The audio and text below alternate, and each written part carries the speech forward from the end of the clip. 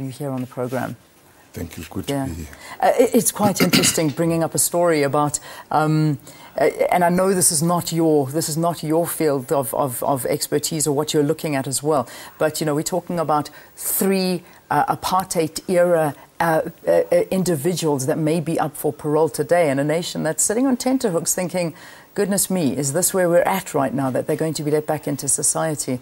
I mean, we talk about a rainbow nation. Is that forgiving something we should, we should take into our hearts? Well, I think uh, you, you, you uh, recall that our transition uh, was not an easy one. And, and, and part of what made us to start constructing a united nation uh, was through, amongst others, reconciliation in, in our society. Um, without referring to specific uh, matters relating to the paroles and so on.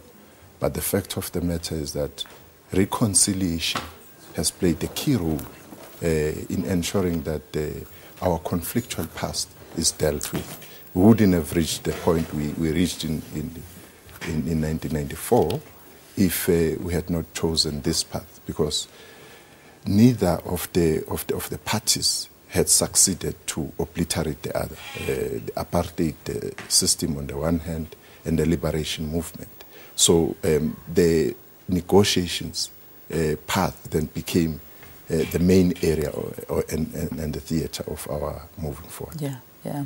Well, let's see what happens this afternoon. But something else we need to talk about, and we talk about the social cohesion here in, uh, in, in South Africa. And there, there, are two issues I want to address here. And let's start off with uh, what we saw in, in Soweto and other townships around the country um, looting. Some saying that it has nothing to do with xenophobia, others saying it's mere criminality. But I think the nation is divided. Now, what is it, in your opinion? Obviously, I, I imagine it's a bit of both and, and some campaigns to develop um, a way forward to get away from all of this. Well, on, on both uh, instances, let me say that uh, our task um, as a society, and we must not lose sight of the bigger picture, is the unity of our people. Yeah. Um, whatever their backgrounds, uh, we, we've got to ensure that we unite our society and do all those things which need to be done, forging partnerships and so on. Relating to specific matters, you will from time to time uh, come across certain instances uh, of discrimination and intolerances of whatever nature, be they uh, racism, xenophobia. Actually, if you look at uh, what happened recently, um, we need to dissect it properly because you do have elements of criminality in some of the instances, uh, but you also have sentiments uh, which uh, are anti-foreign, which have to be dealt with. Uh, and, and these anti-foreign sentiments are very much directed to Africans. Uh, they have nothing to do with other people. Uh, mm. Of course, now you have uh, uh, people of Asian origin and so on. But human beings and humanity will only survive if we are able to coexist and ensure that whatever um, our differences are dealt with, confronted. That is why we emphasize more dialogues, as we have been coming to, uh, coming from a number of community interaction and conversation with our people because the construction of a united South Africa, a non racial and non sexist South Africa, is ongoing. Uh, it started only 20 years. 20 years uh, is not uh, uh much mm. if you come to look at the issue of discrimination. You start with the problem of color line, for instance. Even developed nations are still grappling with that, even today. So it's an ongoing task for all of us to Yeah. uh, make our contribution. Indeed, it takes it takes a lot of time. It takes a lot of effort from absolutely everyone involved. Now, you and I, off air, were talking about a story that uh, maybe if you, you don't live in the area, they haven't heard about it. But there's a particular school. It's called the Curro Foundation in Roodeplaat. Now, there's a story that's come out here uh, where some classes are made up exclusively of either white or black children.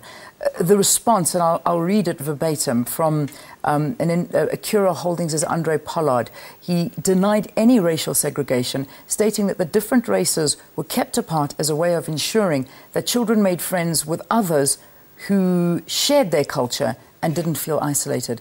He could have really just ended that sentence with one word apartheid. I mean, that, that is, in a nutshell, what this is. I mean, this is not what we can do to our children, surely. Absolutely. You know, as a nation, there are things we need to be able to tolerate, and there are things we need to be intolerant about. There is no way that uh, at this time in age we can tolerate something like this. Verwoerd would have said this. Uh, as you are reading what you are reading, Yeah. uh, I hear Verwoerd uh, in the background. So, therefore, society has to say no to such uh, activities. In fact, if people are allowed to do what this gentleman we are talking about is doing, it, it will undermine the very values uh, and principles enshrined in our constitution. This is apartheid, whatever name she would call it, and, and society has to uh, stand against this uh, so that the people concerned are made to understand that society is not going to, we can't have a democratic South Africa and have such people w- with such uh, views uh, Yeah. very distorted. Yeah, Minister, very quickly, I, I need to get this question in. I know we're running late, but it is it is part of the news. Um, we started off by talking about this in the interview, that about uh, the parole that's going to be happening, the announcement today.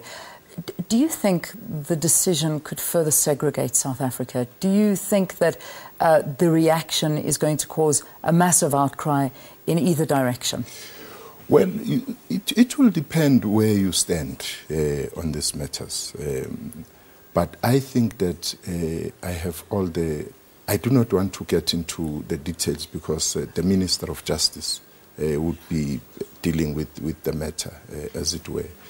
Um, the issue about the reaction of the people in this country would really be a matter, would, would be a subjective matter uh, as to where you come from. What, what is your view insofar as moving society forward?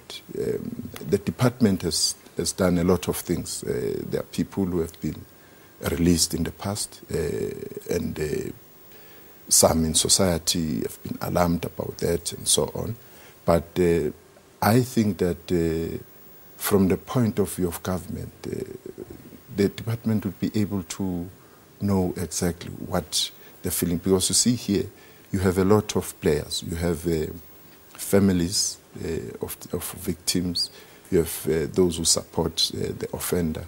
And I understand that there's been a process of interacting with, with the two. Yeah. Without, as I said, without getting into details, the minister would be in a better position to yeah, deal with that. to elaborate on that. But I suppose calling for South Africans to abide by and accept whatever decision is made today, I think, is the, is the big thing. Minister, thank you for talking to us about these very, very important issues and issues that we need to continuously talk about here in South Africa. That of segregation, whether it be between um, ourselves, a, a colour one, a xenophobic one, something that we certainly need to, we need to address on, on, on, on numerous occasions. Minister, thanks for joining us here on the programme. Uh, the Minister of Arts and Culture, Nathi Mthethwa.